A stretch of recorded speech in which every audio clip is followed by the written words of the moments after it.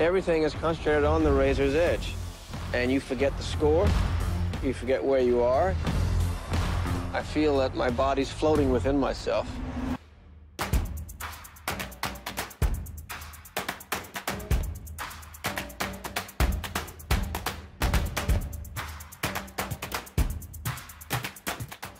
Arthur Ashe, bright young member of the United States Davis Cup team. We were climbing the ladder of inclusion, and here was this guy in this lily white institution of top tier tennis. Arthur was trying to figure out how he could help that would be consistent with his life as a tennis player. Some people think we are all brawn and no brains. And I uh, like to fight the myth.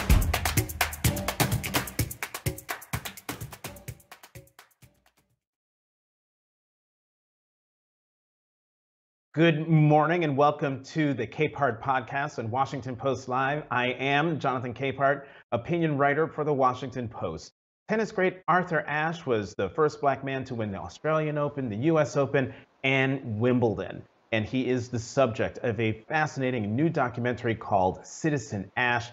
Rex Miller and Sam Pollard are the co directors of the film, and they join me now. Rex Miller, Sam Pollard, welcome to Capehart. Thank you Hello, so much. Jonathan. How are you doing today? Great, and Sam, it's great to see you again. We sat next to each other at the March on Washington Film Festival uh, back in October, so it's great to see you. But I'm going to start with with you, Rex. What inspired inspired you to make this film, and why is it important to tell Arthur Ashe's story now?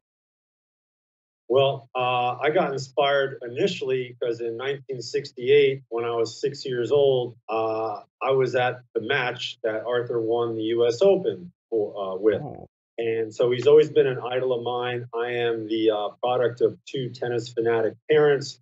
So I grew up imitating Arthur Ashe and other great players of the day. So uh, the opportunity came up about five years ago, really because I was handed some beautiful archival material, which we can talk about more. But it just seemed like a no brainer to try to make this film. And it wouldn't have happened without Jeannie Ashe, you know, giving us a Mhm. green light to go ahead and tell this story. Okay, Rex. So you were at that match uh, where he won, but I have to I have to tell you, uh, I played tennis when I was growing up um, my, because my mother was playing a lot of tennis, and it wasn't until watching this film that I understood that hmm maybe one of the reasons my mother started playing tennis was because of Arthur Ashe and Althea Gibson, but Arthur Ashe being this huge champion and you know this little black kid with thick frame glasses like Arthur Ashe. And tennis wise, people have told me all throughout my childhood that I look just like Arthur Ashe. So he's been a figure in my life for a long time. Sam, where did the title um, of the documentary come from? Citizen Ashe. What does it mean? Well, I think it says that he's a citizen of the world, Jonathan. And uh, it was a title that uh, when I got involved with the film, they already had. And I think it speaks really eloquently about the fact that here was a man who was phenomenal on the court and, and, and an activist off the court. And he just didn't sort of focus on being a tennis star, but he wanted to focus on other issues like apartheid in South Africa, dealing with AIDS after he was diagnosed with AIDS, and other humanitarian, you know, projects. So that's why we called it Citizen Ashe. And, you know, quite honestly, when we was thinking about the title, we couldn't come up with a better one. well, you know, I want to talk. Go ahead, Rex. Credit to our producer, Steven Cantor, who came up with that title. And it speaks to, you know, from the very beginning of this production, it was never going to be a tennis film. Sure, we cover tennis, and I'm a tennis guy and wanted to tell that story, but it's his place in the bigger world that, you know, leaves us with inspiration. hmm So the title is Citizen Ashe, and as Sam said, it's about you know his act. He was an activist off the court, but as we see in as we see in the film, that activism came a little later. And, and Rex, you know, Arthur Ashe had a reputation for being cool and a cool, calm, and collected guy uh, on and off the court. In the film, he says that uh, he never had the emotional freedom to behave the way players like John McEnroe did. In fact, um, he goes on to say, My race wouldn't allow me to be like that. And I'm getting way ahead of myself in the film, but it's that comment that speaks to perhaps why Arthur Ashe, at the beginning of his career, to the frustration of a lot of uh, Black power and Black liberation activists, wouldn't step out front on issues of race. Yeah, it took Arthur a while to get his foothold in the world. He grew up in segregation in the capital of the Confederacy, Richmond, Virginia. He experienced the murder of Emmett Till like the rest of the country did, but it impacted Arthur greatly because he was the same age as Emmett Till. So he was taught to keep your head down, don't make waves. But as he went out into the greater world with his tennis by going to UCLA, by working at West Point as a uh, military member. Um, he, he, spent time at West Point. Um, he knew he had to say something on race. He knew also that he was going to do it his way. So he bided his time. Um, as Sam likes to say, he had to build up his bona fides. And when he won the US Open and was now basically a world champion, then he felt the time was right and then he could do it his way with his new platform. Right, and in fact, I, I like um, to, yeah, go ahead, Sam. I'd like to say this, Jonathan. You know, the thing too to remember is that who was one of his major heroes? Jackie Robinson. And if we go back historically, historically look at Jackie Robinson, who, who you know integrates the major leagues in 1947 at the behest of Branch Rickey, what was his strategy? The strategy that he was given by Branch Rickey was you're gonna you're gonna be the first black ball player in the major leagues, but you can't make waves. You're gonna have to take the insults. You're gonna have to take you know from not only the fans but from other players from other teams. You know you're gonna have to be passive. You're gonna have to sort of deal with it and not make waves. And Arthur saw that as an example, like many African Americans did in the 50s and 60s. You know, so he was part of this notion that to to make it in America and not to be a, a become an Emmett Till you know, or be another person, a black person that's lynched. You had to sort of stay, you know, in your lane, not go outside mm-hmm. your lane. So, as you know, Jonathan, when when Muhammad Ali came out and refused to go into the service, that was a huge thing. I was I was 14, 15 years old. And to me, it was like, wow, this guy's got a lot of nerve, got a lot of guts. And Arthur had to wait, bide his time, you know, and, you know, and, and, in reality, he's more the norm than the exception when you think about him becoming more active as he be as he found this platform. Mm-hmm.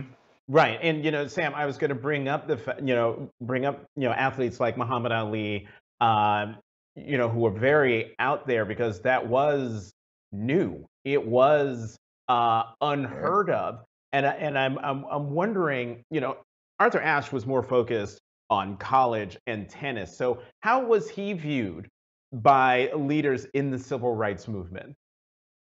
Oh, well, as, you know. As, go ahead, Sam. Go ahead, Sam, as, Sam and then Rex. As, as an Uncle Tom, you know, I mean, you know, he was he was considered the good Negro, you know, the good Negro, and and and you and remember what Harry Edwards says, you know, when they reached out to Arthur to sort of say, you know, since you have this, you know, you're in that lily white world of tennis, you can make some you can make some noise, and he didn't want to make noise. Now, what's fascinating about this documentary, because of the audio that Rex was able to find, you hear Arthur struggling with the with the, his feelings about going to UCLA at the same time as young black people are, you know, being attacked and beaten because they're sitting in in places like Birmingham and you know in Nashville back in the early 60s. Arthur felt the pain of that and he felt a little embarrassed that he was not there on the front lines.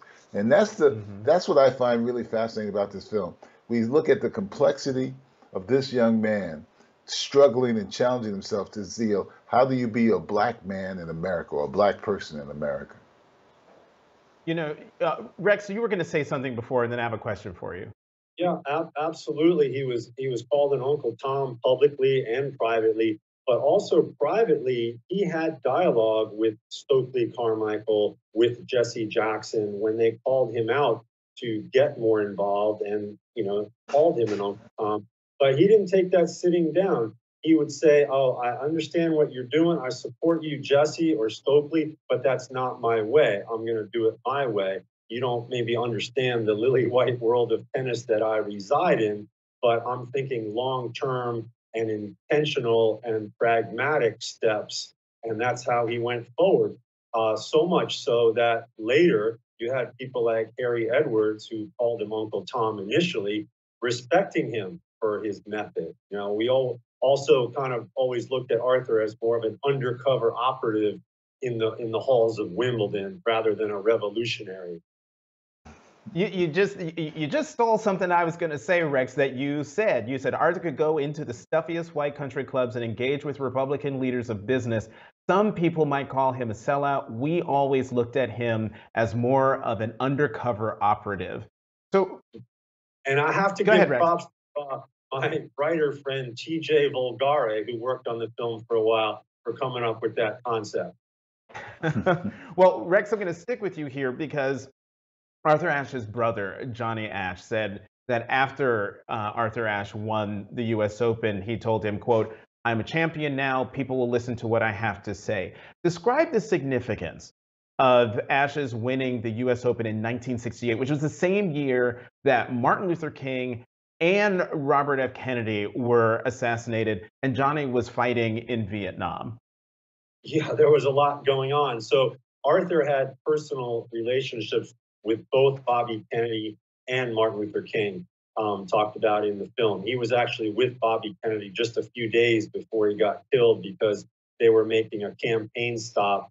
Arthur's agent, attorney, and Davis Cup coach, Donald Dell, uh, was in the Kennedy campaign, and he was running the California campaign basically. So there was a connection there, and Arthur was there uh, just a couple days before Kennedy got killed. So all of these things happened in 1968. The same day that the U.S. Open started were the uh, Democratic National Convention riots in Chicago. So this is all the backdrop for Arthur. And now you have the first U.S. Open, meaning it's the first time the pros and amateurs are going to play together. And Arthur winds up winning the tournament. And as Jeannie like told me several times, it wasn't just that he won the U.S. Open. It was that he was an American winning the U.S. Open, and that meant a lot to Arthur too. He was stationed at West Point. He was an American. Uh, one of his favorite moments was going back to West Point and getting a standing ovation in the dining room. So all of these, you know, combined to let Arthur know that the time was now right. That he knew people were going to ask him questions they were going to listen to him, and he was now ready to talk about his, you know, theories and, and wants and likes of how the civil rights fight should be fought. Um, and not only here, I might add, he was all about defending oppressed peoples from all over mm-hmm. the world. So just a couple days after he wins the U.S. Open, he's on Meet the Press, and you know the rest of his social activism is history. Right. And Sam, um, in the film, you know, we see the activism um, begin when it comes to apartheid in South Africa and his decision to to go to South Africa and play and the significance of that. How big a deal was that, not just to Arthur Ashe, um, but also to tennis and to the civil rights struggle in the state? Well, it's a it's a huge deal for, for an African American athlete back in the 1970s to decide to want to go to South Africa. First of all, to play tennis, and then to also challenge, you know, the apartheid laws there. And mm-hmm. what's interesting about this is how complicated it is. Because on the one hand, he not only upset the white people, the white South Africans, about coming there and talking about they should be eliminating apartheid, there should be integration on the in the tennis matches that he was going to play there but he was also upsetting, you know, not black South Africans and, and, and, and African Americans because the attitude back then was a black person, be it a sports figure or an entertainer, should not be going to South Africa, you know. Mm-hmm. And you see that even though he had to challenges in terms of trying to get into South Africa, when he got there, and as we say at this press conference he went, went to, there were black South Africans saying, "You should go home. You shouldn't be here. You're just, you're just, you know, doing exactly what the white South Africans want you to do, you know, being an Uncle Tom by coming here to play. So what's fascinating to me about this story about Arthur Ashe is the duality that he confronted constantly, this duality, being a black person in a, in a racist society and how to negotiate that. And it's fascinating also because if you think about it, here is in the 70s we had just gone through the, the, the high points of the Civil Rights Movement, the Voting Rights Act, the Civil Rights Act, mm-hmm. Dr. King, the March on Washington. And in the 70s, African Americans, not only Arthur Ashe in the, in the sports arena, but African Americans in the political arena, like Maynard Jackson, was saying, if we're going to break the barriers, we, ha- we need to be inside. You know, we need to be in the doors of power to make change. You know, Dr. King had pushed us to get into the, into the corridors of power. Now, while we're in there, let's see how we can make change. And Arthur was following that template, which I think people need to understand. Mm-hmm. Uh, one of the fascinating. Yeah, ahead, The South story. Uh, I basically learned about apartheid through Arthur Ashe going there. I was about like 12 years old when he went. I didn't know anything about that. And then Arthur Ashe going to South Africa. And just to set the timeline, it wasn't until 1985 that you had American college students walking on Washington protesting apartheid in South Africa. So Arthur was way ahead of the curve. And he said there were two big reasons why he went there. He said, first of all, if I'm going to talk about this issue, I have to see for myself what it really is. I'm not going to just talk about things that I read in the newspaper. And then secondly, he said, I want free, I want black South Africans to see a free black man for the first time and see that he could challenge not only on the court, but off the court, which he did. You know, Sam, uh, Arthur Ashe's health took a, a turn in the 80s. Um, he had that heart attack that uh, ended his his playing professional playing career. Uh, in the night, he had the heart attack. He needed a blood transfusion, and then later on, we find find out that he, as a result of a blood transfusion, um, contracted AIDS. Yet his his wife Jeannie said he took this on the the AIDS activism on as quote just another fight. What did you learn about Arthur Ashe's strength while making this film? I think you come away understanding that Arthur Ashe had a tremendous level of dignity.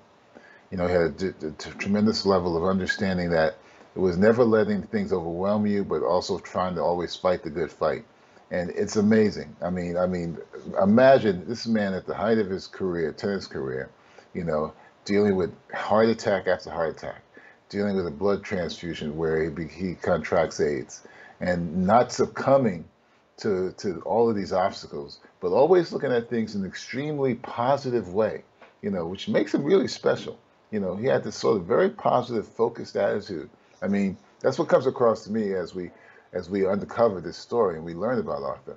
And so mm-hmm. I think it's it's a, it's an amazing sort of for me it's been an amazing sort of revelation to really learn about Arthur because you know Jonathan I grew up in the 60s all I knew of Arthur Ashe in the 60s was pretty much the first part of the film.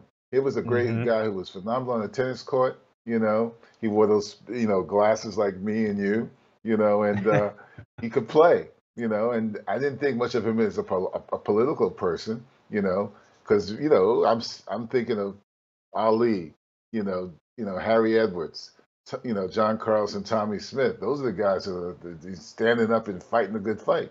But Arthur was too. But he was doing it, as Rex has said many times, in Arthur Ashe's way.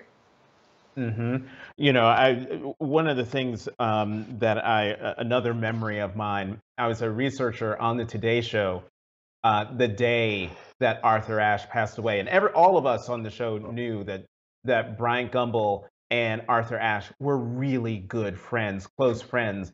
And so I was very curious to see how Bryant was going to honor his friend. And I was in the office and listening to him break down on air as he read his yeah. friend's obituary. Um, it, it still is with me. So it was incredible to hear Bryant's voice and hear a snippet from that uh, obit on February 6, 1993. But Rex, you mentioned this earlier that you came, you got all this archival footage. I think you've got 41 rolls of unseen film, 33 audio tapes, 1,000 pages of transcripts. What was the process like going through these archives? Oh, joyful. That's for me. That was almost the favorite, my favorite part. I love doing all the research. But uh, the film kind of started with the 41 rolls of film. Uh, Linda Zimmerman uh, contacted me. Her father was John Zimmerman, a very well known Sports Illustrated and Life magazine photographer. And he spent a week with Arthur in 1968 during and after the US Open, following Arthur for what would become a week later the Life magazine cover.